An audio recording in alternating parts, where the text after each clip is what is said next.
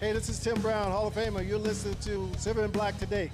Welcome back. We are here with our good friend and just a, a, national treasure, in my view, and that is Raiders great Phil Villapiano, who joins us uh, from the East Coast. And Phil, uh, we, we talked a lot in the first segment about Raiders football and about your history, and of course, the, the late, great Al Davis. Now we're going to shift a little bit. We're going to talk about next week's game the Chiefs and the 49ers. This is the biggest conundrum for, for Raiders fans, Phil, because it's the Chiefs, and we go back to your prayer that you taught us uh, Our Father who art in heaven, I hate the Kansas City Chiefs.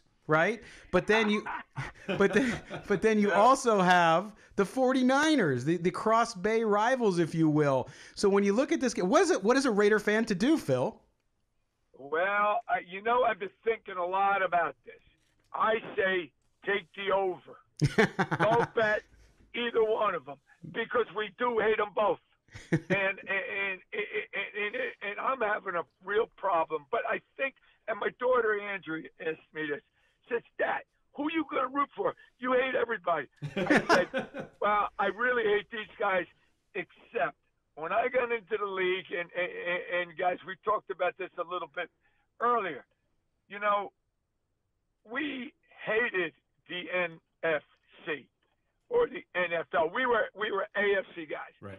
And uh, you know, we were taught when I went to the Pro Bowl game to kick their ass because that's what you're supposed to do. The AFC is a you know we are showing you Mr. Old Establishment. We're going to kill you. So I got a lot of that in my body. So even though you know the Chiefs, I hate them big time. Yep. I hate red because of the Chiefs. I hate, I hate the I hate horses because of the Chiefs. I hate a lot of things because of the Chiefs. But I may have to just lean a little bit towards the AFC and, and the AFC West. That was another thing. You know, we were taught we're the AFC West. We're the best conference in football, mm-hmm. and the Chiefs are representing us, and that's really a good thing. So let's. I got to go a little bit for the Chiefs, and I really, really enjoy, you know, Andy Reid. I got to meet Andy when, um, uh, what was our fullback's name who ended up going to the Eagles?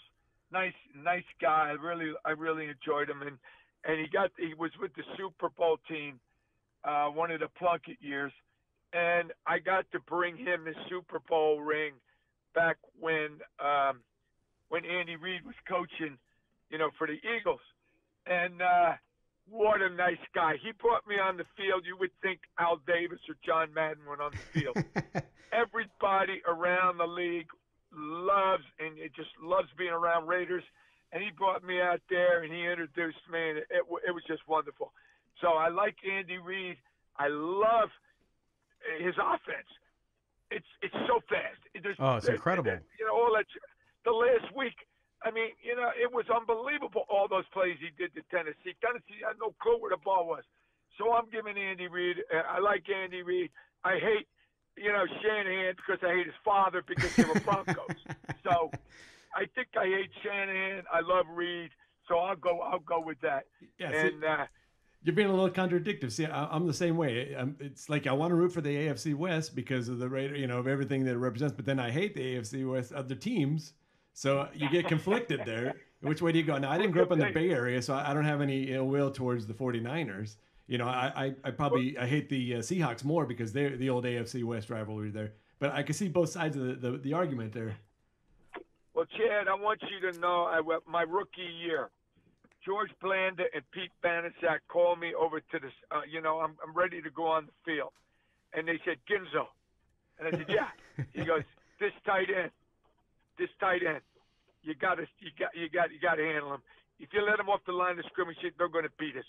I want to see you just, you know, and it was Ted Kwalick. They oh. wanted me to nail Ted Kwalick. First play of the game, bam! I hit him a shot so hard right under the jaw, and I looked to the sideline. There we go, go Ginzo, go Ginzo.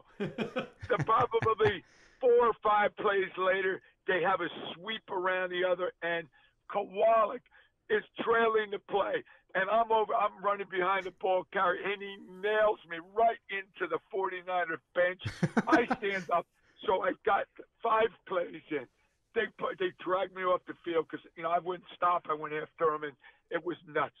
That was my first 49er game. Nice. The next year, I couldn't wait. Blanda and, and, and, and, and Banaszak, are oh, you going to take that Ginzo? You're going to take that from last year? No, I'm not. We lasted about two plays, me and Kwalick. They threw us both out. yeah. The next year, that was in the next year. We're back in we're back in Oakland. We got thrown out again. We actually got about halfway through the first quarter. The next year, we go back to San Francisco because we played them the last preseason game. So you know the starters are playing. So they do a reverse to this. Uh, what was his name? Their wide receiver, Gene Washington. They do a reserve reverse to Washington.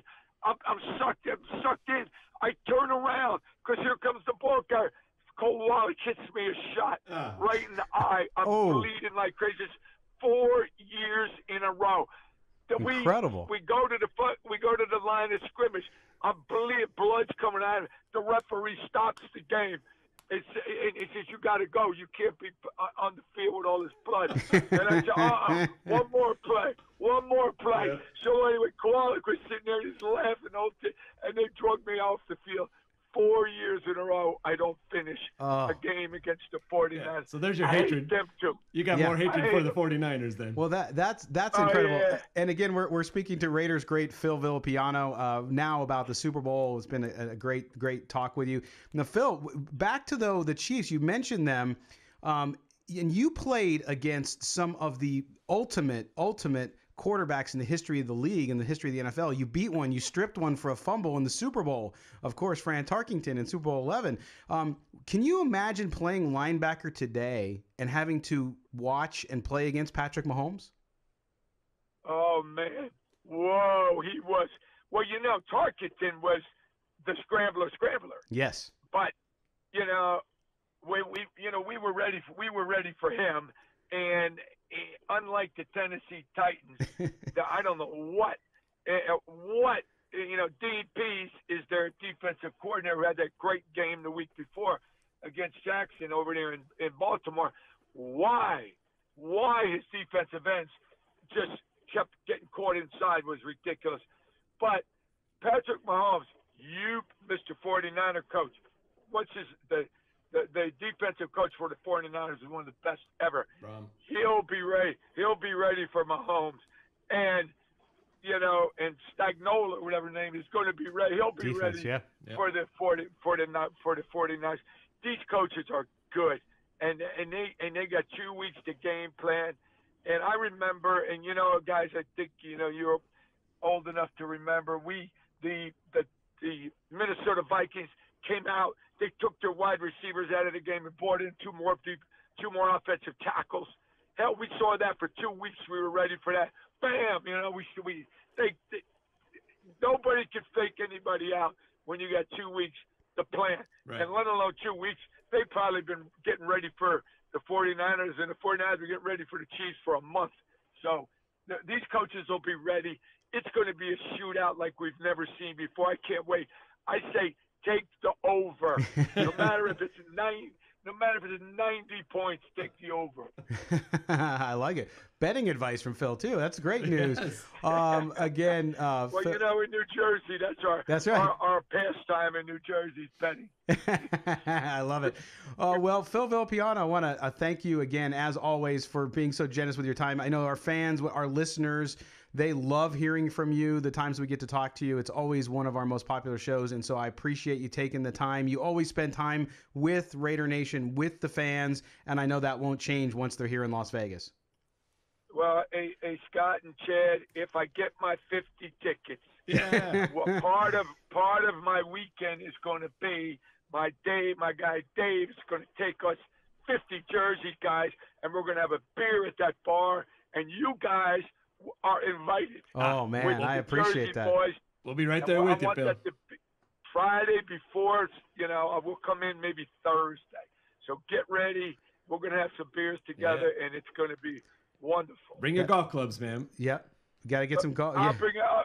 I'll bring everything. Oh, I can't wait. I can't wait. Hey, and don't think I don't love Oakland. I mean, a lot of people are getting Oh, mad at me. No. I love Oakland. I love Oakland. But, you know, it's like, you know, you had the home phone, you know, and then you got the cell phone. That's You right. gotta move on in life. Yeah. You know what I mean? We moved on. We're in Vegas. We belong in Vegas. And I, I can't wait to see the logo. Did they come out with a new logo? Not yet. At the There's party the other day. not yet. The, the the merchandise and that stuff's supposed to come out as we get closer to the draft, since the draft will be here in Las Vegas. We got to get you out for the draft too. I think I think that would be uh, an opportunity for you to get out on the links and uh, spend some time as well. Well, I will be there. My girlfriend Janie lives over in um, Palm Desert, so we drive through the desert whenever we feel like it. I was at the Raiders threw a giant party last year at that. I forgot the name of that uh, big uh, big disco. I don't, they don't call it discos. Whatever it was. Jerry's the upstairs. club. So anyway, but they had the they had the DJ. They, oh, it was crazy. A couple thousand people were at the party. So hopefully the Raiders invite me back. If not, I'm coming anyway. Yeah, So that's I'll right. You'll you crash. the draft. You'll you'll cra- yeah, you're crash. Phil. You're always the life of the party. It can't be a party without That's you. right. So you got to be there. There's no question. Uh, but Phil, Hey Scott, you yes. should you.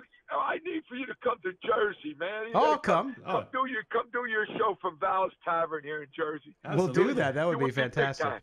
That would be awesome. Absolutely. Well, Phil Villapiano, again, as always, thank you so much for joining us, and we'll talk to you again real soon.